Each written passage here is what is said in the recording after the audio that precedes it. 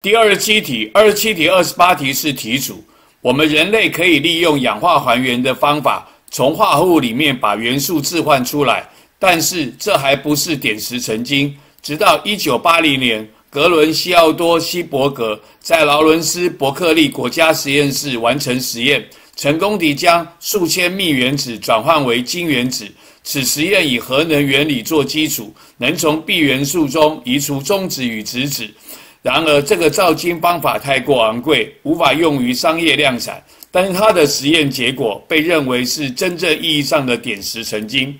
第二十七题问：假设希伯格成功制造出六千个金原子，请问他成功得到几公克的金？我们晓得呢。一摩尔就是六乘以十的二十三次方个，那一摩尔的质量就等于其原子量或分子量，所以现在有六千个一摩尔是六乘以十的二十三次方个。我们教过的公式，个数除以六乘以十的三次方就是有多少摩尔。那一摩尔的质量就是它的原子量或分子量。那么金的原子量一百九十七，所以这么多摩尔就乘百一百九十七就有这么多的功课。那么这个是六千，那么这以后去掉一个六乘以十的。